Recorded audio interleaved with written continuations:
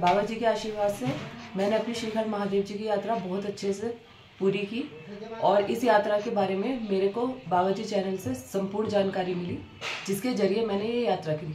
और जय जय भोले बाबा जी की समिति के साथ मैंने ये यात्रा अपनी बहुत अच्छे से संपूर्ण की। और मैं चाहती हूँ कि अपने जीवन में एक बार सब लोग अपनी यात्रा श्रीगढ़ महादेव जी की यात्रा ज़रूर करें। उसके लिए थोड़ी अपनी तैयारी बढ़िया से करके आए। बिल्कुल मेंटली और फिजिकली दोनों फिट होके आए बिल्कुल। क्योंकि यहाँ पे ना ही तो रेस्क्यू है और ना ही कोई हेल्प करने वाला है। इसलिए आप अपने ऊपर ध्यान दे के बढ़िया से तैयारी करके आए। क्योंकि ये यात्रा और यात्राओं की अपेक्षा बहुत कठिन है। आसान नहीं है ये। इसीलिए सब लोग अच्छे से पूर्ण करके अपने घर लौटे। इसके लिए बढ़िया से अपने करिए मेरी यात्रा बहुत अच्छी रही और मेरा अनुभव बहुत अच्छा रहा है इस यात्रा का। श्रीगढ़ महादेव जी की यात्रा के लिए मैं अपना अनुभव शेयर करना चाहती हूँ कि अगर श्रीगढ़ महादेव जी की यात्रा पे आ रहे हैं तो अपने साथ रेन कोट छाता, थोड़ा बहुत खाने का सामान और पानी, ये ज़रूर लेके आए और एक अच्छी कंपनी की, बहुत अच्छी कंपनी की टॉर्च ज़रूर अपने पास रखें क्योंकि यहाँ पे लाइट की कोई व्यवस्था नहीं है। और हम लोगों ने अपनी यात्रा, मैंने अपनी यात्रा चौदह तारीख को शुरू की थी जाऊँ गाँव से उसके बाद हमने पहला हम लोग पहुँचे काली टॉप। काली टॉप पे हम लोगों ने स्टे किया, क्योंकि हम लोग बहुत थक चुके थे, क्योंकि रास्ता बहुत लंबा है ये।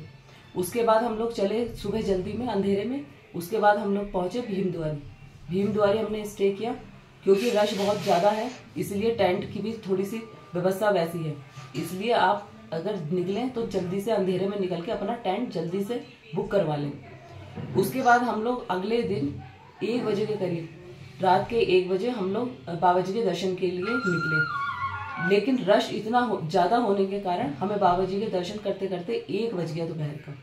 और वहाँ पर मौसम भी बहुत ख़राब हो चुका था ओले पड़ने लगे थे।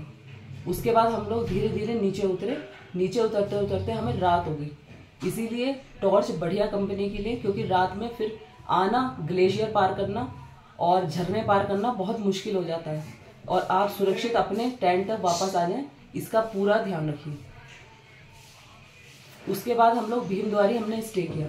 स्टे करने के बाद हम लोग फिर वापस चले फिर हमने काल, काली टॉप पे फिर से स्टे किया और आराम करके सुबह हमने तीन साढ़े तीन बजे के करीब अपनी यात्रा नीचे की ओर फिर प्रारंभ करी और हम लोग आराम से नीचे उतर आए अपने बारह एक बजे के करीब हम लोग नीचे आ गए। और उसके बाद आकर हमारी यात्रा समाप्त हो गई और फिर हम लोग अपने घर जाने की तैयारी है जय भोले बाबू जी